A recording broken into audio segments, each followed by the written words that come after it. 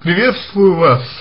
А, мне бы хотелось сказать, что э, вот в вашем э, сообщении, в вашем письме, вообще-то говоря, отсутствует уточнение о том, как вы э, себя позиционировали по отношению к мужчине. То есть, как вы себя с ним вели.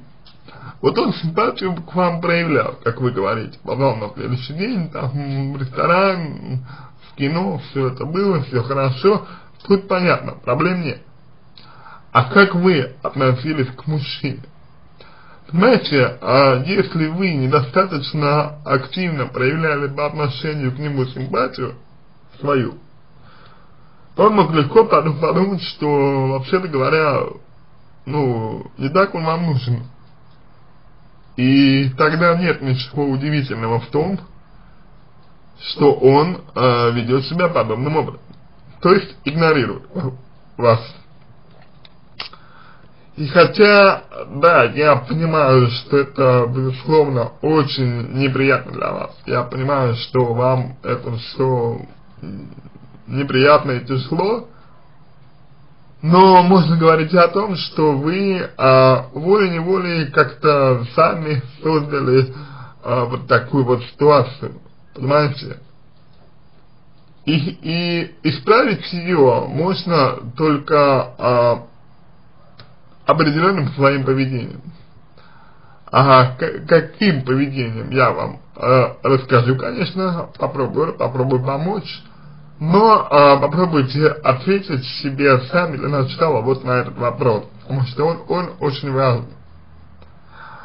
Ага, дальше, следующий момент. Это момент о том, э, что вы пишете, значит, э, что вот э, прошло там 8 часов мужчина не ответил на ваш на ваши смс и так далее, занят он а, не был.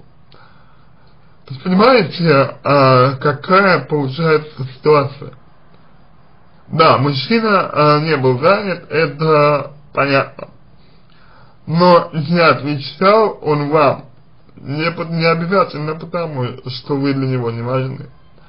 Не отвечал он вам потому, что хотел показаться независимым. То есть, по сути, хотел показаться вам тем, кем, кем вы видитесь а, для него. И вот это уже, на мой взгляд, достаточно серьезная проблема. Почему он хочет казаться перед, вами а, таки, таким независимым, почему он хочет казаться перед вами таким вот самостоятельным и так далее, это, вообще-то говоря, очень э, серьезная, на мой взгляд, проблема. Потому что от этого зависит ваше будущее, будущее ваших отношений. И вот поэтому на это стоит обратить внимание а, в первую очередь. Следующий а, важный момент.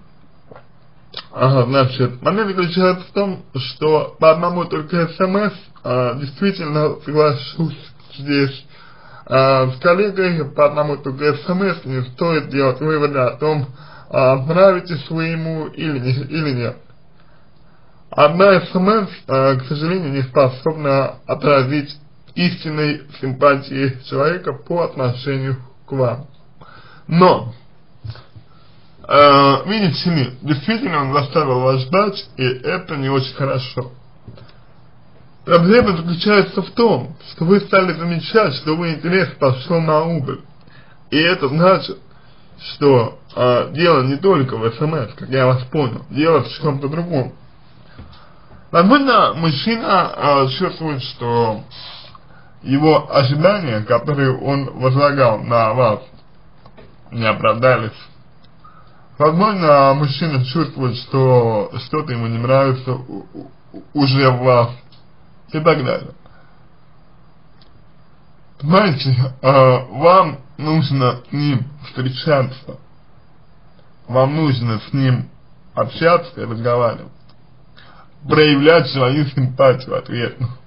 И если в ответ на вашу симпатию мужчина будет вести себя так, вот тогда это значит, что вы ему не интересны. Охлаждение и безразличие проявляется тогда, когда человек не отвечает э, должным образом на проявление чувств и симпатии по отношению к самому себе. Вот в этом и заключается основная э, точка, на которую вам стоит опираться, и от которой вам стоит отталкиваться. Потому что э, много может быть причин, по которым он не отвечал вам на смс. Ну вот, допустим, ответила нам спустя 8 часов. Ладно. Напишите ему еще одну смс. И посмотрите, как он будет отвечать на нее. Если будет отвечать так же, значит действительно вы ему не очень важны. Если ответит сразу, значит по каким-то причинам не мог. Такое бывает. А, наконец, может быть так, что он знал, что смс от вас придет. Знал. Но не увидел ее, пропустил. Просто случайно смогла его отвлечь, и он не увидел, не услышал, что она пришла.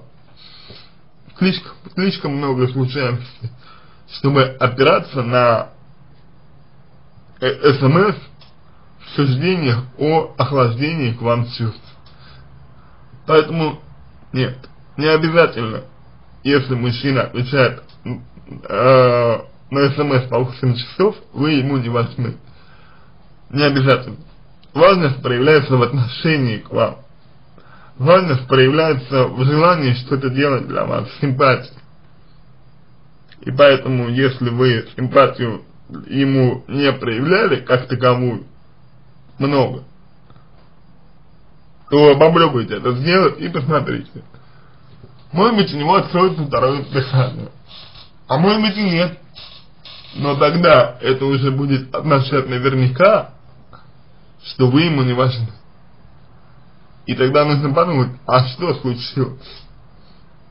Почему он охладел к вам? Есть ли ваша ответственность в этом?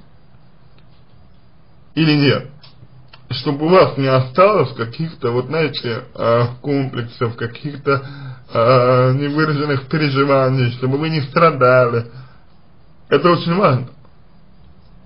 Если у мужчины чувства прошли сами по себе, то вы ничего с этим поделать не могли. И это проявится не в СМС, в отношении, в отношении к вам. Если вы сами повлияли на то, что, что чувства у него ушли, осознанно или неосознанно, неважно, но повлияли, то постарайтесь, постарайтесь сделать так, чтобы это было в последний раз чтобы не было больше такого, что по вашей ответственности, неважно насколько она, она э, отвечает за это, неважно, чтобы вашей ответственности в том, что чувства у мужчины ушли, не было. А для этого нужно проанализировать ваше поведение. Ваше поведение по отношению к нему. И вот тогда проблем, я уверен, как таковых не будет.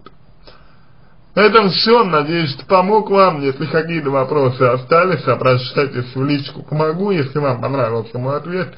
Буду благодарен, если сделаете его лучшим. Желаю вам всего доброго и удачи.